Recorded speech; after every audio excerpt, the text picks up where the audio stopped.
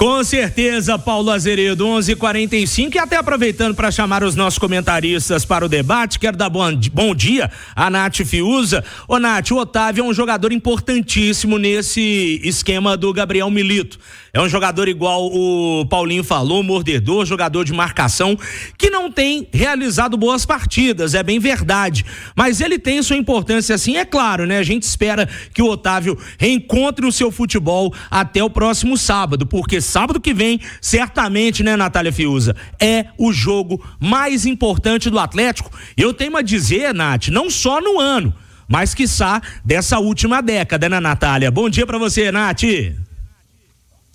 Bom dia para você também, Rafa. Todos que nos acompanham aqui no Rádio Esportes desse sabadão, também ao Ale Oliveira. Olha só, o Otávio, ele vem de uma crescente muito grande desde a temporada passada. Você vai se recordar naquele final de campeonato brasileiro, o time voando ainda no comando do Filipão, que chegou a sonhar com o título da competição nacional. O Otávio, uma peça importantíssima do meio-campo, ganhou um protagonismo muito grande com um treinador que tinha como seu primeiro pilar a força defensiva, né, que era o Filipão, e nesta temporada ele manteve as boas atuações. Mas num período mais recente, acho até depois daquele pênalti infantil que ele cometeu contra o Vasco na Copa do Brasil, depois o fato de ter perdido espaço para o Fausto Vera, e aí a gente entende o Milito não só por característica, né? Porque o Fausto Vera tem um passe mais apurado, tem uma visão de jogo mais legal que a do Otávio, que é um cara mais restrito à marcação, mas também por momento o Fausto Vera vinha se encaixando nesse meio-campo. O Otávio acabou saindo do time. Eu acho que isso também pode ter mexido um pouquinho ali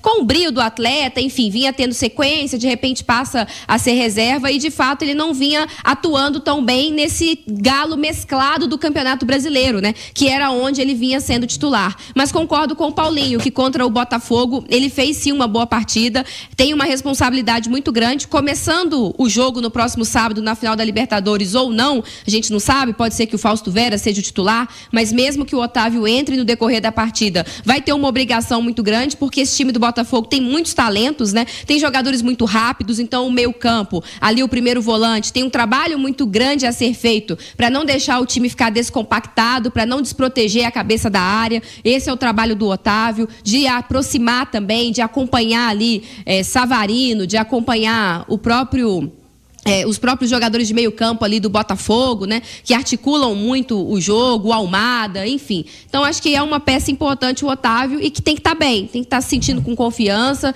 tem que estar tá sentindo bem para ajudar o Atlético e hoje vai ser uma peça mais importante mais uma vez, assim como foi no confronto contra o São Paulo pela Copa do Brasil. O Otávio fez grandes jogos também naquele duelo, tanto no Morumbi quanto também na Arena MRV depois. Agora, Ale Oliveira, inegavelmente a gente tem que falar, né? É importante você ter essa disputa disputa sadia por posição dentro do elenco, a gente sempre costuma falar, né, Ale? O jogador ele tem que ter sombra.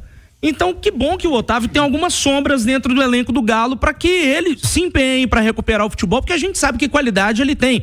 Momentos ruins, altos e baixos, todo mundo vive na vida.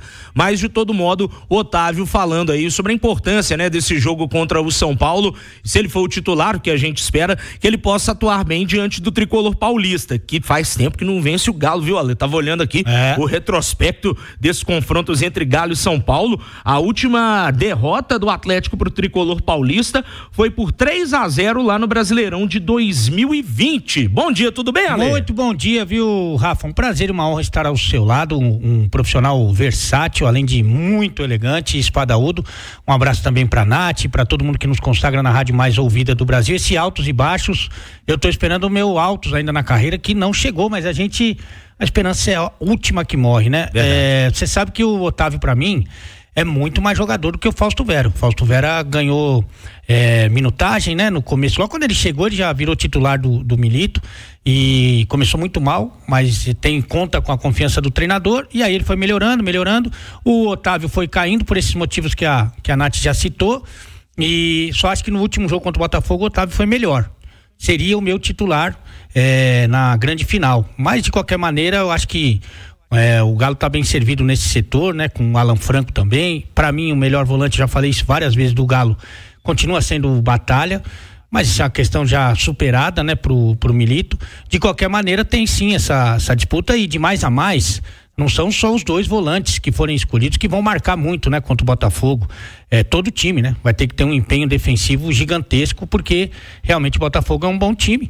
Só que diferente do que foi no Indepa pelas situações, né, pelas circunstâncias, o time é mais de meio time reserva, um jogador a menos por uma hora, né?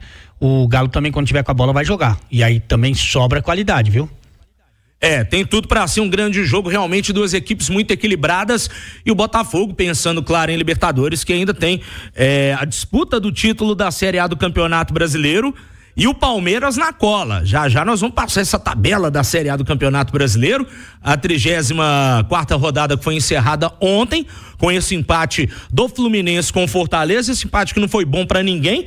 O Fluminense que ficou estagnado na parte de baixo da tabela, o Fortaleza que podia colar ainda mais no líder Botafogo, ficou ali atrás do, do Botafogo, se eu não me engano, quatro pontos nesse momento, né, Alessa? São claro? cinco pontos cinco do pontos. Botafogo, né? E também tem essa disputa aí por vaga direta na Libertadores, que também está envolvendo muito o Internacional, que vem de 15 jogos sem perder, né? Que coisa, hein? É impressionante, é o melhor time do retorno do campeonato.